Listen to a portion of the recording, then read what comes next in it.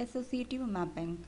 In associative mapping, we can keep a main memory block anywhere on the cache. Suppose we need to bring main memory block 2 to the cache memory.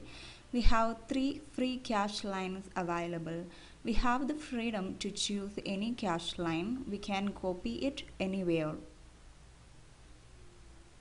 So if we consider any single cache line, we can see all the main memory blocks are actually mapped to it. Hence, if it is occupied, then which main memory block is actually residing on that particular cache line. To identify that, each cache line will be associated with a tag. The tag associated with the cache line will help to identify which main memory block is copied to that cache line. In this example, each cache line is mapped to 8 main memory blocks. So to uniquely address 8 blocks, how many bits should be there in the tag? There are 8 blocks, 2 power 3 blocks, hence the number of bits required in the tag is 3.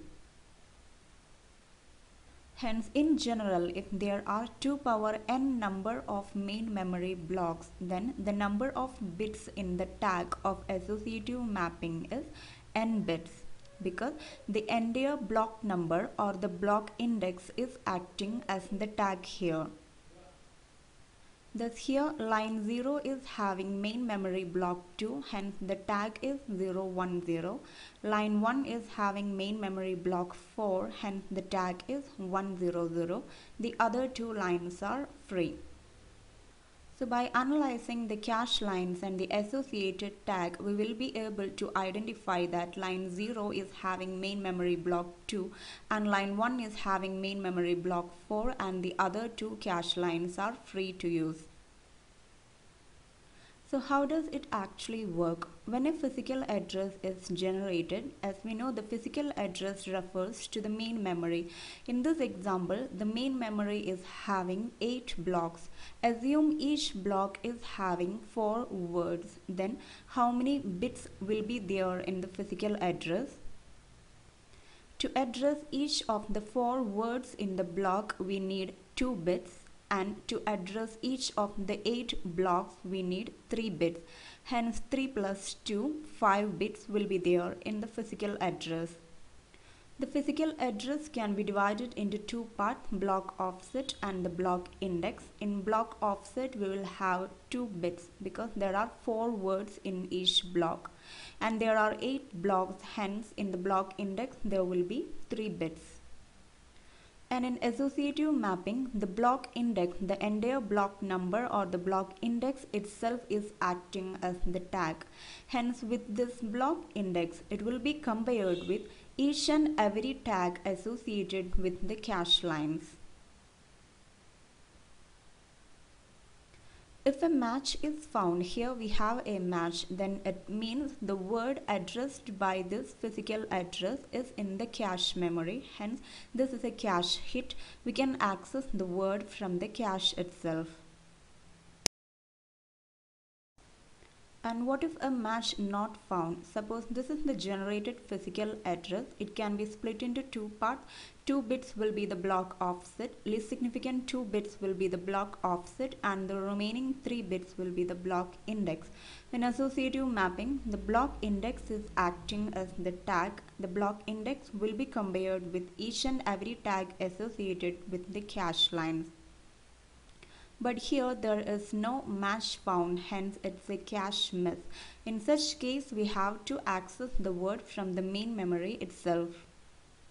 Thus for time being we will access word 1 of block 5 from the main memory and then for future references to help the future references this entire main memory block 5 will be copied to the cache memory and since we are using associative mapping, there are three free cache lines available. We have the freedom to choose any of these. Suppose we chose line number 2, then the entire block index should be associated as a tag to this cache line. Thus the tag is 101. So by analyzing the tags and the associated cache lines, we can see the first cache line is having block 2, the second cache, cache line 1 is having block 4, cache line 2 is having block 5 and cache line 3 is free. And while we are bringing or copying a main memory block to the cache, if all the cache lines are occupied, then we should choose a proper replacement strategy. So what are the advantages of associative mapping? This is the most flexible method of mapping because we can choose any cache line. If we have to bring a main memory block to the cache, if any free cache line is available, then we can use it. Thus, we can utilize the cache space to the maximum. A replacement is required only in case the entire cache is full.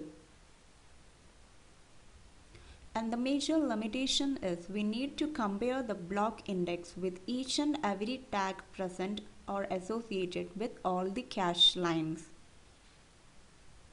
And another small limitation is the tag bit, the number of tag bits is small. The entire block index is used as the tag. Hence, the number of bits used for the tag is small compared to the other methods.